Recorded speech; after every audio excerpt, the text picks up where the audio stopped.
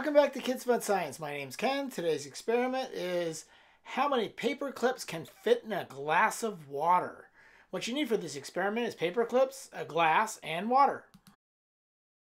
So I've got two experiments. This is the first experiment. I've got a 8 ounce glass and I'm going to fill it completely up all the way to the rim of the glass. So nothing left over. So you're going to keep going until it's all the way to the rim and you can kind of see it just going over there right like that.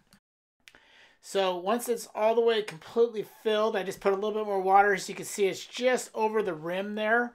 And now you're going to predict, guess, how many paper clips can I fit into this glass of water all the way to the rim before it spills. So I'm just using regular size paper clips. So go ahead and make a guess and then I will start.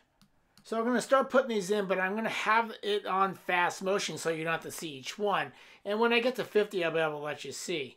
Now, you probably made a, a predicted a number a lot smaller than it is, where we're coming on 50 right now. Uh, when I will highlight when I get to 50. So you can always run it a little bit slower on YouTube to see if you really want to count. But here we go. There's 50 paper clips right there. So I'm going to continue to add paper clips, but I'm going to tell you the science behind this. So water molecules are polar, meaning, um, like magnets, they have a negative and positive ends. This causes the water molecules to be very attracted to each other when you place them on a penny, like when we did an experiment placing drops on a penny, the force of the attraction between the water molecules overcomes the force of the gravity, at least for a while, and the water builds up like a dome over the top of the penny. Well, the same thing happens here with the glass of water.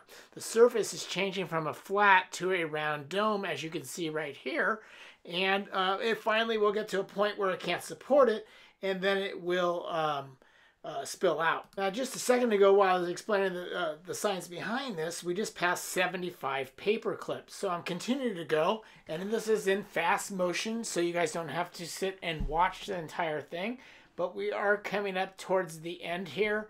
Um, has I only bought a there was my hundredth paperclip right there. I only bought one box. I did not think a hundred paperclips would fit in the in the glass, so I was not able to have the water tip over. So that's why I'm doing a second experiment here, and um, I'm going to. Uh, uh, have a lot smaller cup, and so we'll be able to see how many paperclips can fit in that.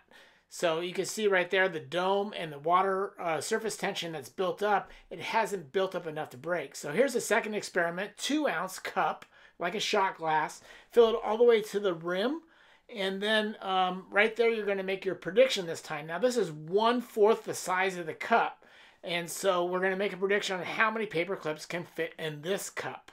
So here we go. We're going to start putting the paper clips in. Um, and uh, there's one, Two, I do have it up, uh, sped up a little bit so we don't have to watch it. So as we put them in, as you already can see, the glass is so much smaller, so it's not going to be able to take as many. But here we are at 25 paper clips already, and it's starting to fill up.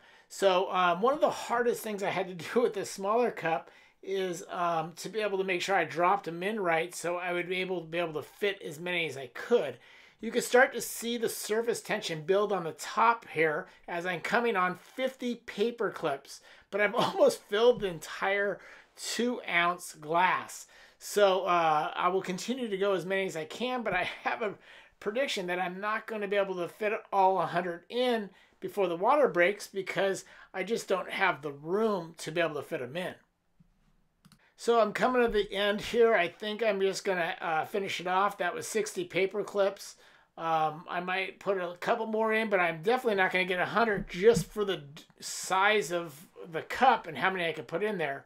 So I think I'm going to finish with uh, 64 paper clips and I ran out of space. So I hope you enjoyed this video. If you did, remember to click thumbs up, subscribe, and to share.